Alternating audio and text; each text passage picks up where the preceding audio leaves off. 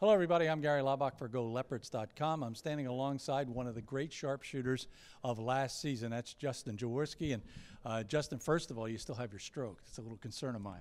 yeah, absolutely. Been working on it all off season, so hopefully it's a little better. Better. Now, that'll really be impressive. Talk a little bit about this ball club. You have to replace somebody really big inside who scored a lot of points in Matt Klinewski, and obviously your point guard is gone, Eric Stafford, uh, which I think means that probably you and Alex are going to be somewhat responsible for that spot.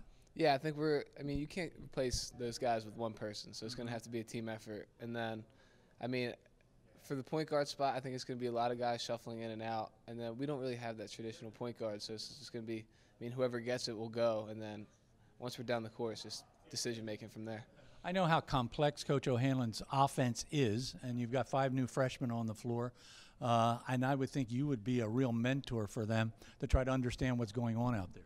Yeah, I've been doing my best to just try to be a mentor guy for them, be a leader on this team, and then I mean, there's some real high IQ guys. Like they picked it up pretty quickly. So, I mean, I think they're they're doing great. So we'll be all right. You and Alex are obviously outstanding shooters, and uh, I talked to coach, and it looks like you might be on the floor a little bit together, which would have to drive defenses crazy. Yeah, I think we both bring a little different things to the game. I think Alex is a little better one-on-one scorer than I am. I think I move without the ball a little better than he does. But I think we just complement our game. Like, our mm-hmm. games complement each other really well. So I mean, I love playing with him. So I mean, we'll see. We'll see what, how it goes. I see Kyle Stout too as being a real key to whether this team really has themselves a good season. Talk a little bit about his growth from last year to this year, and his, how's his shooting stroke. I think Kyle Kyle is. Last year he struggled a little bit shooting the ball. I think he's a lot better than what he's what he showed and what people think about him. I mean, I think he's going to have a really really good year. In practice, he's been he's been killing it. He's been making shots. I mean, playing defense, rebounding the ball.